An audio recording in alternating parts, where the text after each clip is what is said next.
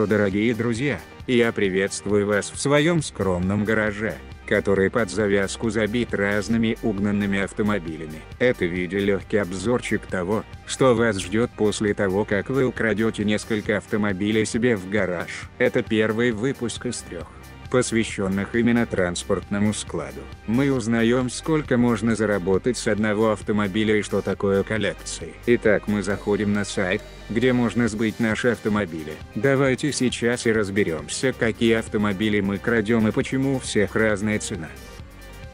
Перед нами сайт, где опубликованы все наши угнанные автомобили. Они делятся на три ценовые категории. Это стандартный класс, средний класс и высший класс. Если вы играете в одно рыло, вы можете продать только одну машину. Соответственно, если вы наняли ребят, то каждому достается по автомобилю. Ну а теперь давайте узнаем, Сколько можно срубить бабок со всех классов автомобилей? Выбираем стандартный класс и видим этот пиздец. Всего 15 тысяч если отвезти автомобиль в таком же виде как и пригнали. 22 500 получим, если сделаем поддельные документы, а также 30к получим, если полностью кастомизируем автомобиль заново. Итого получается что, вырвали свой пукан ради 30 тысяч долларов GTA. Поздравляю, вы сказочный долбаеб, но получается, что рокстаровцы наебали всех. Но это было понятно изначально. Они просто не позволят нам много зарабатывать. Или я ошибаюсь, ведь есть еще два класса автомобилей.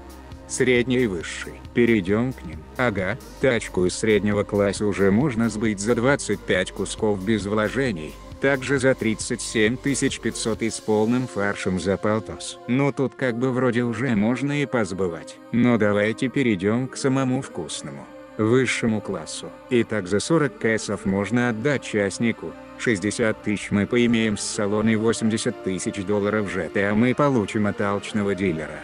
80 тысяч это совсем не дурно. Но все ли так гладко, реально ли получить 80 тысяч чистыми? Ведь не забывайте, что автомобили из высшей категории охраняются лучше всего и чтобы оторваться от преследования. Когда мы пиздим этот автомобиль приходится неплохо так повредить автомобиль. В основном от пуль бандитов и копов, а еще довести до дилера. Но все эти нюансы вы узнаете из следующих выпусков, посвященных транспортному складу. И узнаем, возможно ли наладить стабильный фарм уходить в большой плюс. А сейчас перейдем к некому бонусу который нам предлагает сайт по сбыту наших тачек. Это коллекции. Я собрал 40 автомобилей, но так и не смог собрать ни одной коллекции. Единственное, что я могу сказать по этому поводу, что вам придется продавать определенные тачки вместе со своими партнерами. Каждый берет по автомобилю и вы вместе сбываете определенное количество. За это вам дают бонус от 50 до 20 тысяч долларов за то, что привезли именно эти автомобили. Я думаю, что это некая альтернатива спецгрузу на складах. Но поживем увидим.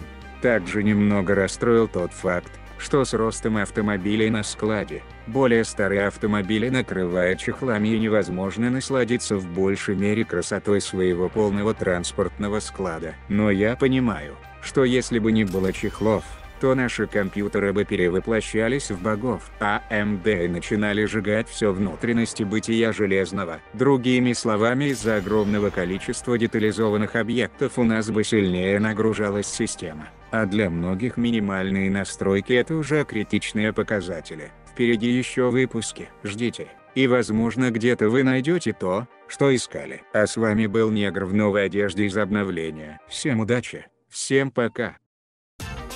Спасибо этим ребятам за помощь в заполнении моего гаража.